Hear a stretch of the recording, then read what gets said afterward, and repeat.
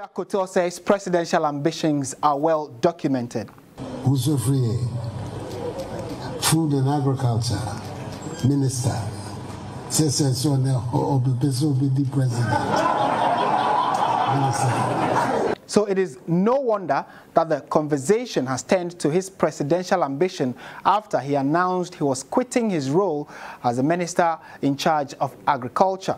For six years, Dr. Afriyie Akoto was the main man in charge of Agric space, overseeing the Agric ministry while constantly fighting critics over key policies such as the planting for food and jobs. Anybody who goes outside Accra into the country will bear witness to me that the food security in this country has strengthened some, substantially.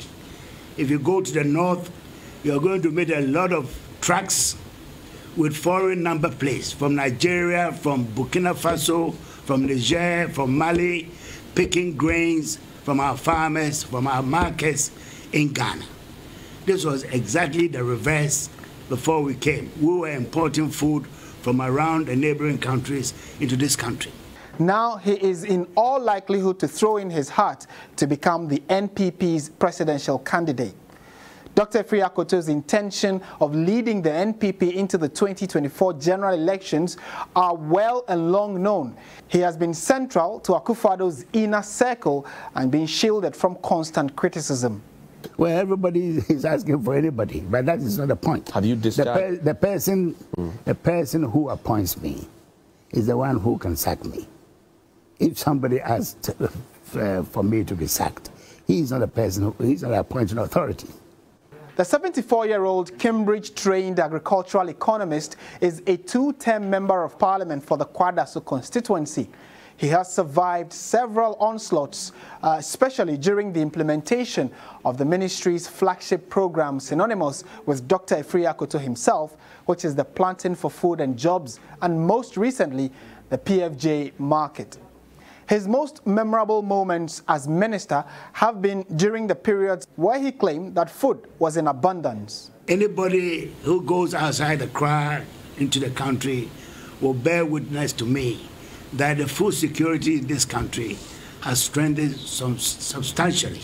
Whenever the market has dispelled his theory on food prices, he has often come with the explanation that this is simply the traders seeking to profiteer the price that the final, the final consumer pays in Accra does not reflect all the costs if you put it all together.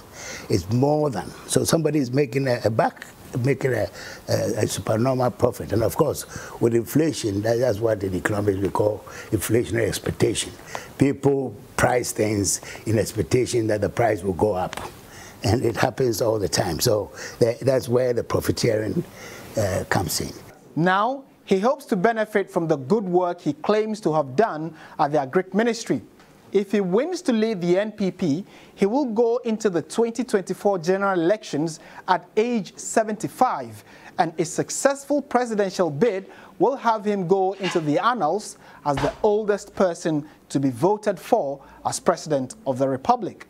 But even way before that, he has a Herculean task to impress the newly introduced college by the party to trim down candidates to three before they are presented to the bigger Electoral College of Delegates. Speaking to a champion.